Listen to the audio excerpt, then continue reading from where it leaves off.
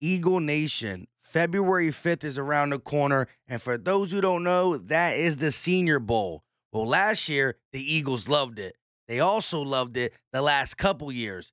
Can we see a future Eagle play on Saturday? This is Philly Talk with Philly Mike. Talking sixes in the bird gang, that's I like. Competition, we ain't scared, yeah, that's what we like. Win or lose, you know we showing up and we gon' fight. Uh, you see, we strive for the sky every day that go by. And every single week we screaming fly, Eagles fly. This is Philly Talk with Philly Mike, yeah. This is Philly Talk with Philly Mike, yeah. What is going on, everybody? I go by Philly Mike, and this is the Philly Talk Podcast. And today we are going to talk about some of the low tier and the high tier prospects that will play in the Senior Bowl on February 5th. We're also going to give you some of the guys that Philly Mike is looking at, not necessarily saying we got to go draft them. I want to see how they perform low tier, high tier in the Senior Bowl.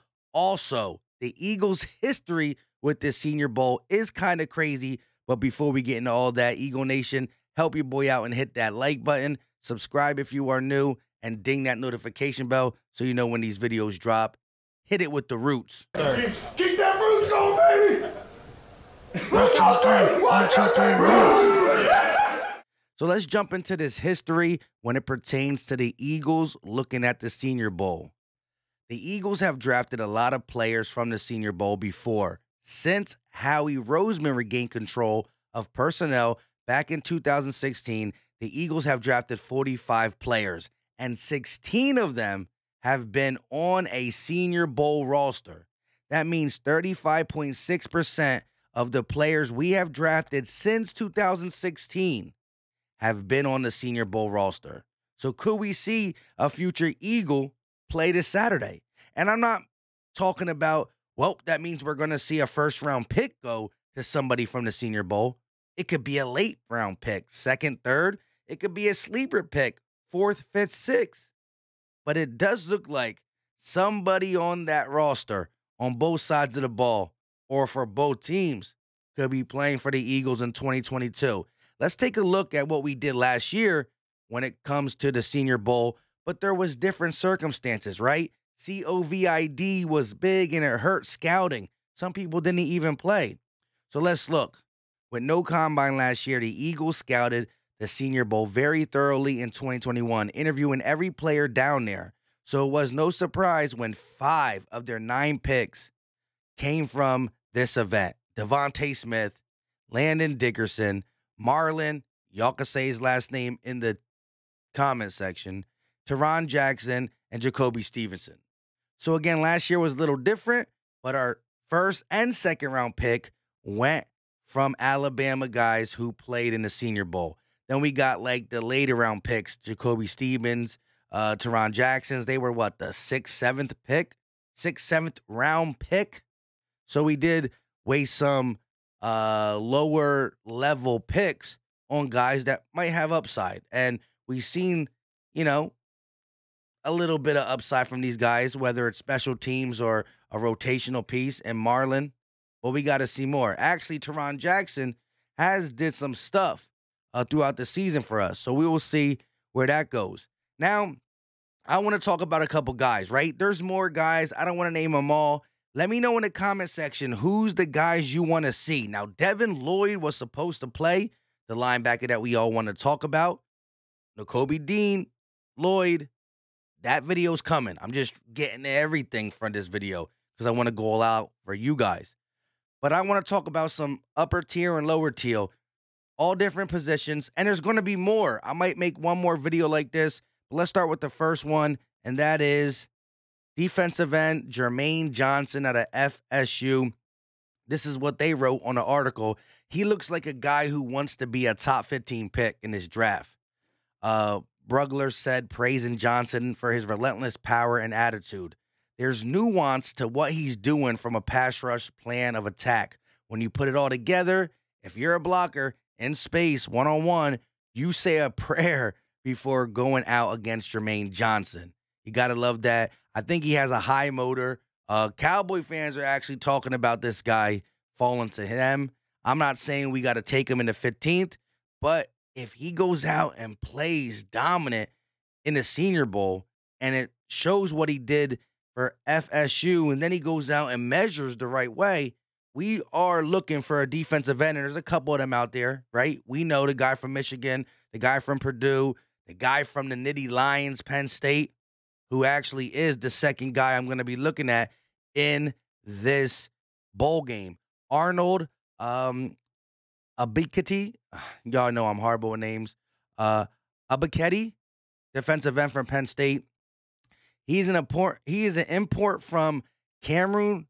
Uh, Cameroon, who originally enrolled at Temple, where he didn't play much in his first two seasons, but had 42 tackles, four sacks, and three forced fumbles during the COVID shortened 2020 season. He transferred to Penn State in 2021, and he had 62 tackles, 18 for loss, nine and a half sacks, two forced fumbles, and two block kicks in his lone season with the Nittany Lions. He had a nice assortment of pass rush moves and had a great bend for a player thought to be early in his development. So one of these guys who the ceiling's not reached at all. He got much more potential. I know Philly Fresh is high on him, and we're going to start breaking down tape on these guys, right? We're going to do draft profiles, but I do want to get some of the senior bowl out the way. I want to get free agency out the way because we are going to play in free agency. And then we're going to go heavy on the profiles, cons, weakness, pros, strengths, all that stuff. Let's look at the next guy. Now we're going to go to some lower tier, another defensive end I want to look at, and that is Dominique Robinson, edge out of Miami. A tremendous story as Robinson was a high school quarterback who started his college career at wide receiver before transitioning to pass rusher in 2020. Wow. Uh, Brugler noted that uh, how Robinson is a twitched up athlete who challenged the corner on every play.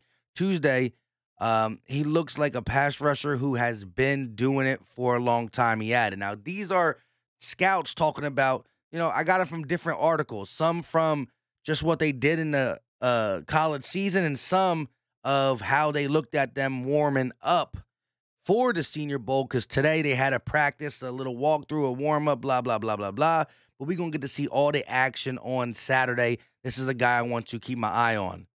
Another guy is Chad Muma, linebacker out of Wyoming. And you're like, linebacker, hold up, Mike. We going to get Dean, Nakobe Dean, or Devin Lloyd. And I think we have a shot. I really, really do. I think Howie opened his eyes to linebacker after watching Michael Parsons. But for some reason, if we don't go there, maybe this is a guy we can look at in the second or third round. I'm not sure where he's going to land, but I just want to watch him because he's a linebacker playing in this uh, upcoming ball game. Muma lit up the stat sheet in 2021, racking up 142 tackles, more than 10 per game, and three interceptions, two of which were pick sixes in 13 games. He has instinct, speed, and some pop. Intriguing day two possibility for the Eagles. There you go. That is for the Eagles they're talking about because they don't believe we're going to go linebacker in the first. Um, another guy I want to look at is Darian uh, Kinnard, a guard slash tackle out of Kentucky. Kinnard is a big and powerful offensive tackle with versatility to play both guard and tackle.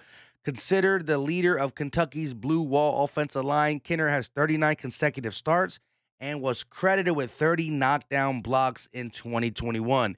He has a great chance to show teams that he can be a starter at multiple positions this week at the Bowl. And 39 consecutive starts is what I want to hear for an offensive lineman. We need that Jason Kelce type player who never misses time. You know what I mean? And again, these are not me saying let's go draft these guys. I just want to watch and see. Let me know in the comment section who you want to watch from the Senior Bowl. Now we got a wide receiver, Tre Turner. This is for the later rounds, wide receiver out of Virginia Tech. Turner is a long and athletic receiving prospect who is surprisingly uh, electric with the ball in his hands. He's somewhat raw from a technical aspect. You're like, well, we don't need none of that. I want a longer guy though. As a receiver, he was something of a afterthought in Virginia Tech's run first offense. However, his ability to create yards after the catch is intriguing, and he has the potential to be a threat at all areas of the field with some development. He also already a very good blocker, which should boost his value. Again, this is someone I might take a sleeper on cough, cough, like a Quez. Uh, but I just want to see how he plays in the big bowl game. Now let's flip it over to defense. Cornerback Roger McCreary, uh, cornerback out of Auburn. Um, Auburn didn't have a great season this year, but they uh, fielded a great secondary in 2021. This is a very deep, talented draft when it comes to the defensive secondary, and McCreary has the potential to be as good as anyone in the class. He has good size, great athleticism, and ability to be a number one corner in any coverage scheme. So he's versatile, can play both man and zone. And again, if these guys do what I think they can do in the bowl, and if I am really looking at these guys later, whether it's a third round, and when we do that, I'm going to tell you where I feel they could be drafted. I'm not going to be right. Y'all might not be right. I might be right. Y'all might be right, but we're going to guess this stuff together, whether it's mock drafts or draft profiles. And for those who are following me new, you didn't see it, but I did that last year. Um, last but not least, another corner, Coby Bryant. And of course, it's not spelled with the K O B E. And shout out to the late, great Kobe. But this is the cornerback out of Cincinnati. Uh, you know, Cincinnati means sauce, Gardner. But let's look at Bryant as well, though he shares a name with one of the most beloved athletes in our last quarter century, different spelling. Um, he's a decorated player in his own right. He won the Thorpe Award as the top defensive back in college football in 2021, finishes finishing his career with 10 interceptions and 35 pass breakups. Again, go out, show me what you can do Saturday against some of the seniors of college and some guys who are going to make the NFL, and then I'll feel pretty good. But these are some of the guys I just want to see play Saturday.